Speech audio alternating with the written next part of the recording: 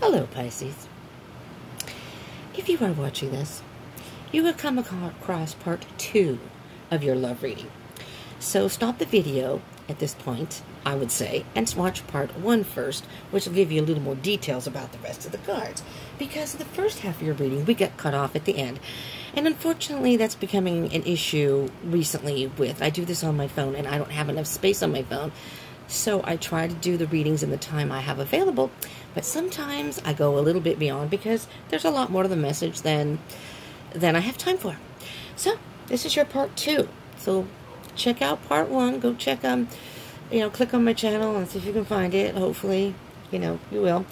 Um, if I knew how to do, I'm not really sure how to do links. Otherwise, I would link it in them. If I can figure it out, I'll put it in. But, anyways, I was in the process of saying Pisces.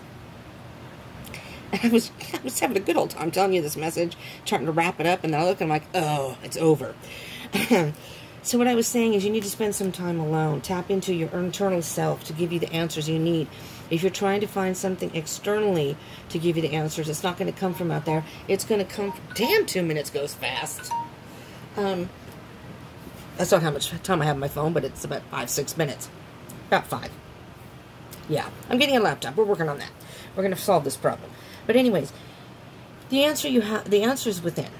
Okay, so you need to spend some time alone, uh, Pisces, and really tap into your internal self, have a little introspection, and try to figure out what you really want.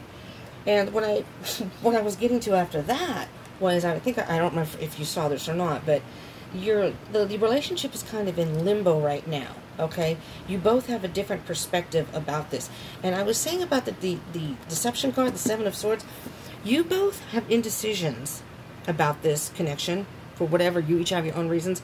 The Seven of Swords to me is you are both deceiving maybe yourselves and each other because you are both pretending you don't care as much as you really do.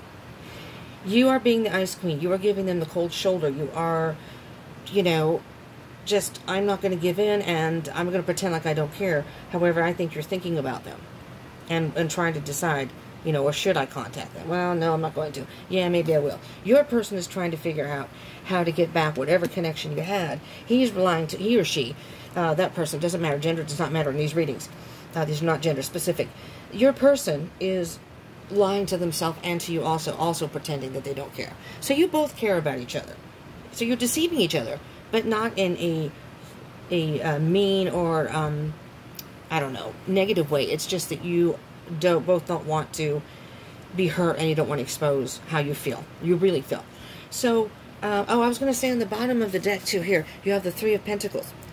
If you both care and you want this to work, you're going to have to work together. You really are going to have to figure out a way to work together, to come together, and if that's what you want, if you want some sort of connection or relationship, okay? Pisces, that's what I have for you. Thank you so much for tuning in. Thumbs up. if you want to. Comment, I would love to hear from you. But subscribe and join the tribe if you haven't already. And hit the bell icon button. I'm going to be doing these weekly. So in a week, this is for nine days, but every week I'll be doing these. Um, so the 18th through the whatever, it'll come up. Okay? And it'll give you some more information maybe on this situation. All right, thank you so much for tuning in. I love you all. I don't want to be cut off again.